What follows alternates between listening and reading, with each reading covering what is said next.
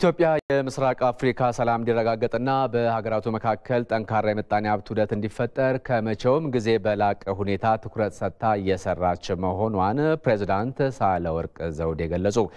ለሰባተኛ ጊዜ በሩዋንዳ ኪጋሊ እየተካሄደ ባለው የአፍሪካ ኩባንያ መሪዎች ፎረም ላይ እየተሳተፉ የሚገኙት ፕሬዚዳንቷ በፎረሙ የመጀመሪያ ፓናል በቀጠናው የምጣኔ ሀብትን ለመፍጠር የሚደረገውን ጥረት ኢትዮጵያን ተሞክሮዋን አካፍለዋል። ፕሬዚዳንት ሳህለወርቅ ዘውዴ በዚህ ወቅት እንዳሉት በአጠቃላይ በአህጉሪቱ ጠንካራ የኢኮኖሚ ውህደት ለመፍጠር ከአህጉራዊ ነፃ የንግድ ቀጠና የተሻለ አማራጭ ነው። ኢትዮጵያም ለዚህ ውጤታማነት የበኩሏን ትወጣለች ብለዋል።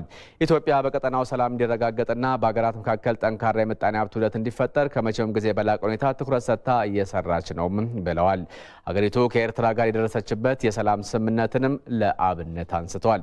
የአፍሪካ ኩባንያ መሪዎች ፎረም የአፍሪካን የግሉን ዘርፍ በስፋት የሚያሳትፍና የግሉ ዘርፍ ተግዳሮቶች እንዲሁም እድሎች ዙሪያ የሚመክር በአህጉሪቱ ከሚካሄዱ ትላልቅ የዓለም አቀፍ መድረኮች አንዱ ነው። ሀገራት ያላቸውን የኢንቨስትመንት አማራጭ ለማስታወቅ መድረኩ ከፍተኛ እድል የሚፈጥርም ነው።